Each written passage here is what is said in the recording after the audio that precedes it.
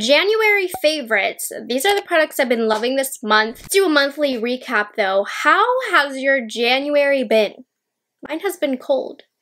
Though, oh my gosh, it feels like a lifetime ago that we went apartment hunting at the beginning of the month, and the day that I'm filming it is officially February, and we're moving this month. Yeah, so exciting! But anyways, how have your resolutions been going? Mine's been going pretty good. I'm a big resolutioner, okay? I make them every year, and I actually do a pretty good job of sticking to mine. One of my resolutions this year was to read every night before bed. That hasn't happened. I did read one book this month, so I think I'm adjusting it just because you know what, some nights I just don't want to read. I'm not a big reader. It's out of my nature to read, but I think I'm adjusting it for a more realistic goal for me is to finish one book a month. So I think this month I'm going to read the second Bridgerton book since the new season comes out in March, and I guess I'll like do the series this year. I think that's what I'm gonna do. Anyways, have there been any resolutions that I failed?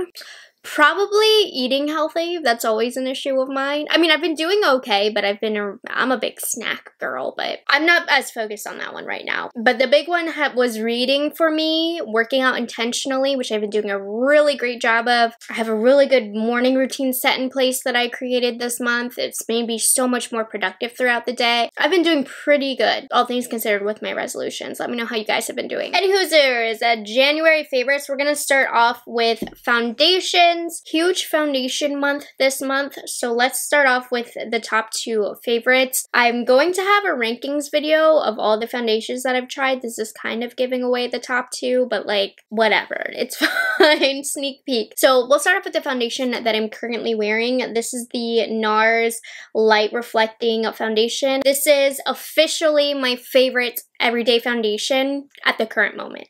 I mean, it doesn't beat out my favorite favorite foundations like my La Mer, my Tom Ford, my Dior, but right now this is the everyday foundation that I'm reaching for the most. It's so lightweight, a little goes a long way with this. I mean, you know, it doesn't give you full coverage, but you only need just a little bit and I swear it spreads across your whole face. It's really comfortable on the skin, it looks really healthy. It's not the best long wearing wise. I feel like it does sink into my smile lines, but it just looks so pretty on the skin. It's so fast and easy to apply. I've been loving this for every day. The other foundation that I tried, I think I tried this last month, but I just want to talk about how great the Dior Forever Matte Foundation is. They did reformulate this to be clean, and I think they did a really great job with this. It wears beautifully, even though it's a matte foundation. It doesn't dry out my skin. I wore this New Year's Eve. I was sitting over a hot pot. If you don't know what that is, it's basically a soup that is simmering. So, you know, there's lots of perspiration happening, and my foundation looked good as new even after having my hot pot.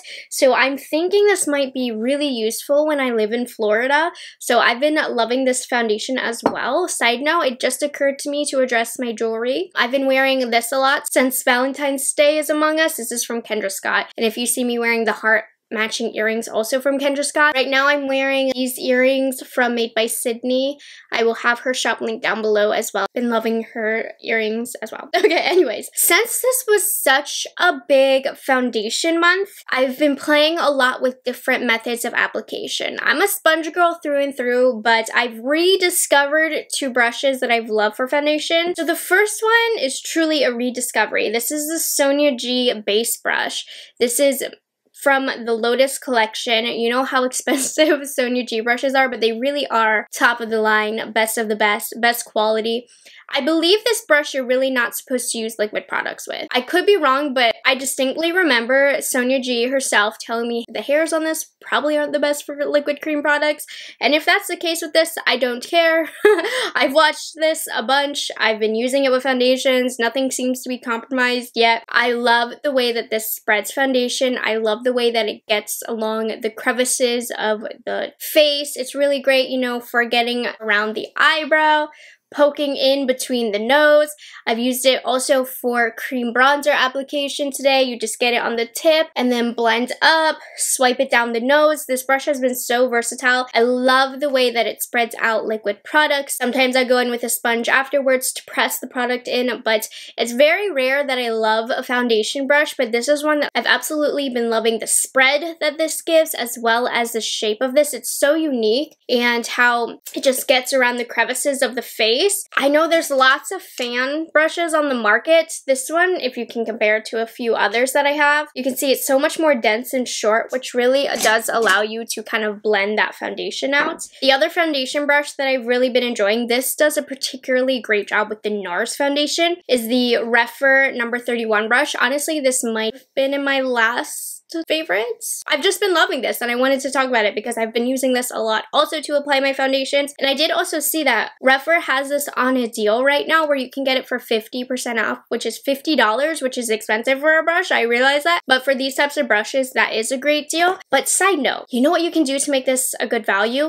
They're having a deal right now where you can get their new moisturizer, which is really, really good, by the way. I've only used it a few times, but so far I've really been liking it. You can get this literally for free. It's like pay what you want. Don't understand the promotion, but you can get this for $0. If you get this and then this brush for $50, getting these two for $50, that would be a steal. Anyways, love this. It doesn't leave streaks. It really presses the foundation into the skin. I find it also works really, really well with those thicker foundations, like maybe the new Charlotte Tilbury Beautiful Skin, which by the way, I'm not a fan of, but you know how it has that thicker consistency that can be a little bit harder to push around your skin. This is nice and dense to really work it out. So both of these have been awesome for foundations. I have a rediscovery for you. I pulled this out to go with my NARS foundation since it is a NARS concealer, but I forgot how phenomenal the NARS Soft Matte Complete Concealer is. So it's a little pot concealer. It has a nice soft matte finish, and I feel like it just blends over the pores and smooths them out, and it instantly makes your foundation look smooth. I've dealt with a lot of not very good foundations this month, and whenever I've used this, I feel like this has saved the look. The concealer I found, it really made the pores show right here. I would put this over top and this would help smooth it out. It looks great and smooth on the under eyes. It's a lighter shade, so I've also been using it to just kind of brighten up the center of my face and smooth everything out.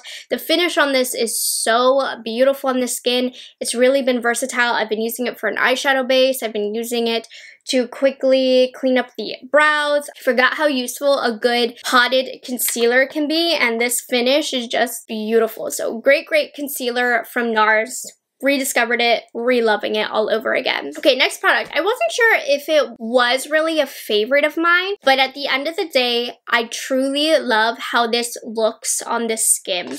So Danessa Myricks came out with the Dewy Cheek and Lip Palette. I do have some reservations about this palette. Let me just say that I do use this formula in my makeup kit. She has, let me show you, has these Luxe Cream palettes here. I mean, these are really awesome if you want to get these. I'd almost recommend these over this guy if you want a ton of shades in this formula. Mine is all messed up because, like I said, I've depotted these into my makeup kit. So I'm very familiar with the formulation. And what drew me to this was I wanted something that I could personally use for myself, get my grubby fingers in and not have to worry about that aspect. So I got excited about this because this and the other shade that came out are definitely much more friendly to the average makeup consumer. The consistencies in here are different. Like this one you can see is much more glossy and then the other three are a little bit more hard. I actually typically when it comes to my makeup kit, I use these more so for lip products. I feel they are a great natural finish onto the lips. So if you get this, it is really great on the lips lips. I've been testing it a lot more on the cheeks on myself and I I love the way it looks on the cheeks. The application is a little bit tricky because they are a little bit more sticky. It takes a little bit more working out. It definitely feels like you're putting a lip gloss on your face, which that's a feeling that I don't really enjoy. But I have to give credit where credit is due once you take that extra time to blend it out, it really is so beautiful and healthy on the cheek. Another application tip that I would recommend is actually putting down a first layer of it and then powdering your face. You will find that the powder actually does kind of cover up your work, but then you go in with a second layer over top of the powder that will keep the glow on the cheek that this gives, and it also will help the product last longer. I would recommend if you're looking for something super long wearing, definitely set with a colored powder over top. Cream products fade. They just do. This one fades as well. But I found that a good happy medium is blended in over your liquids, then powder, and then put a second layer and that normally catches on pretty great as well. That's a good happy medium. But these really do give just the most beautiful youthful look on the cheek as well. I don't love the application. I really don't, but it's so pretty on the cheek that I've been putting up with it. It, it makes my cheek look like plump and I, I love it. So I do really enjoy this formula and I've been having a lot of fun with it. I'm not gonna lie. Let's move on to highlight. You've seen me use this a ton. I feel like I've talked about this in so many videos, but it's just been a relevant topic, I suppose. So this is the Pat McGrath and Bridgerton Skin Fetish Sublime Skin Highlighter. For me, I love this shade Incandescent Gold. This is going to be the lighter of the two. This is just so divine. I absolutely love how pretty the embossment is. I have it as my highlighter right now. It's nice and glimmery. You can really build it up for something that is extra, or you can really add a soft layer to give something that's a little bit more natural. This isn't the most natural highlight though. If you like that glow from within, this is not what you want. But I love the texture, the finish of this, the way it looks on the skin. I've been using it nonstop. I just realized I meant to apply this to my inner corner and I forgot so let's do it now. I've been loving it as an inner corner highlight. It really is a pretty soft white gold is how I would describe it. It's really it's it's so good you guys. The formula is good. It's a stunning stunning highlight. I've been using it a ton. I've used it many times all over the lid as well this month. I've used it a ton. This is definitely my most used highlighter this month. It's very very pricey. You know I don't feel comfortable saying you need this. Like you don't need this. It's an expensive highlights, but if you think you will find as much joy in it as I have, then I do recommend it. Let's move on to eyeshadow palettes. Oh my gosh, I'm going to expose how basic I am with these choices, but ooh, you guys know deep within my soul, I love a good neutral palette, okay? I am basic like that. So let's talk about this first one that I've been loving.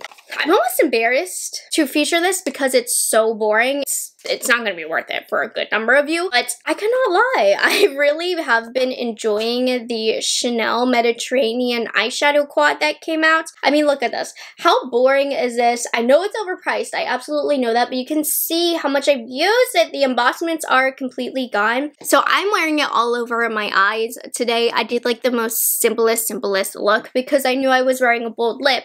And I've really been trying to wear bold lips more often, and that is another reason why I've been gravitating towards palettes like these because these go good with a bolder lip. But there's something about the finish of this that really is so elegant. It's a very refined shimmer here. It's more than the average shimmer. It looks smooth on the lid, but it has little flecks of glimmer. I really love this formula. It's quite sophisticated. I know at the end of the day, it probably is not worth the money, but it's a quad that I've been reaching for. It makes me feel bougie because it's Chanel and the finish on it is really beautiful. I have a few other Chanel palettes, not a lot, but this one I noticed, I feel like the finish has a little extra something special to it that my other Chanel palettes that I don't have. So for me, this is my favorite Chanel palette. I feel like it looks so special and natural on the lid. If you like color, if you like bright makeup, don't, don't buy this. Don't waste your money. But I know there is a huge crowd of you that are looking for soft, sophisticated looks that you can wear to work, make you feel a little extra special in the morning when you apply. This is it. This, I love it. I appreciate all facets of makeup, okay? I love this finish. Another one, okay, I'm not gonna lie. I've only used this once, yesterday, but I just know it's gonna be a favorite, so I might as well add it now. This is the new Tom Ford Extreme Badass Quad, which currently is sold out. It's sold out on Beautylish in like 10 minutes, but I can, I, I know why. This is my favorite Tom Ford palette that's launched in a couple years. So this is the Metal Lust Quad. It is so good, you guys.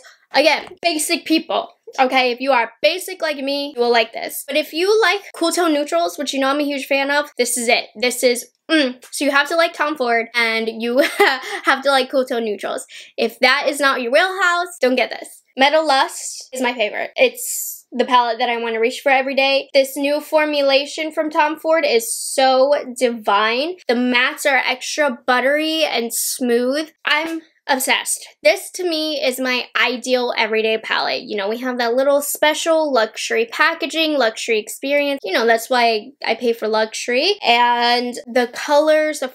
Mm, Mm, I love it. I will let you guys know when it comes back into stock because it is that good. Okay, let's finish off with lip products. Let's talk about a quick lippy that I've been loving to throw on just later on in the day when I'm done filming without having to think about it. The Chanel Rouge Coco Baume. I love this formula. It's so comfortable and this particular color in my rose, very flattering to my skin tone, I must say. It really livens up my face. I feel like it makes me look more youthful. So this is going to be my go-to summer lip product. I can already tell you. It's really hydrating on the lips, super comfortable, gives a nice level of pigmentation without being too much. It's gonna go with whatever makeup I'm wearing or whatever makeup I'm not wearing. It's gonna be great for those no makeup makeup days. I feel like this type of formula is really, really trendy right now and I'm loving this. It's uh, the most gorgeous color, so yeah, loving that. And then, of course, the lipstick I'm wearing. Charlotte Tilbury came out with a Lunar New Year lipstick collection. I wasn't drawn to it because I'm not so into bold lips. I'm a nude lip kind of girl, but K-Romance has changed my mind. The fact that this lipstick is so bold and has been making me adjust what makeup I want to wear in order to wear a bold lip says a lot. So this is a lipstick I've been loving. Like I said, it's K-Romance, so it comes in this limited edition Lunar New Year Red Tiger packaging. And it's this deep, kind of maroonish lip. I love it. Now, I will say I have like a dry spot right here that the lipstick caught onto, but other than that, such a beautiful formula. It is her matte formula, which is quite comfortable. A little bit drying, but all matte lipsticks are. It's the least drying matte lipstick you can probably find on the market, but this color, Ugh, I love it. It's the reason I decided to go with this boring Chanel eyeshadow today, just so I could rock this in a video. If you're looking for a good deep red lip that hopefully will encourage you to wear deeper colors, this has been it for me. So I love it. And then finally, by far my most favorite lip gloss this month has been the Dior Lip Maximizer in the shade Opal. So this is part of their spring collection. I forgot how much I love this formula in general. It leaves a very subtle tingle on the lips, which I honestly believe does slightly plump the lips. The finish of it is so comfortable. It's not too sticky. And this particular shade, I love it because it has an opalescent sheen to it. I would say on the lips, you can see like a pinky sheen. It's not anything too obnoxious, but it goes with every lipstick. It's so pretty. I love the formulation of this gloss. Honestly, this kind of rivals Pat McGrath and Fenty, if you ask me. It's so, so bomb. So yeah, I've just used this like almost every day, so I had to add that. All right, you guys, so there we have it. Those are all of my favorite products in the month of January. Let me know what some of your favorite products were, what some of the worst products you tried were, because you know what? I tried a lot of bad products too this month. Those Charlotte Tilbury matte eyes, no thank you. Anyways, I hope you guys enjoyed this video and you found it helpful. Thank you so much for being subscribed to my channel and liking this video, and I will see you guys in the next one. Bye guys, have a good one.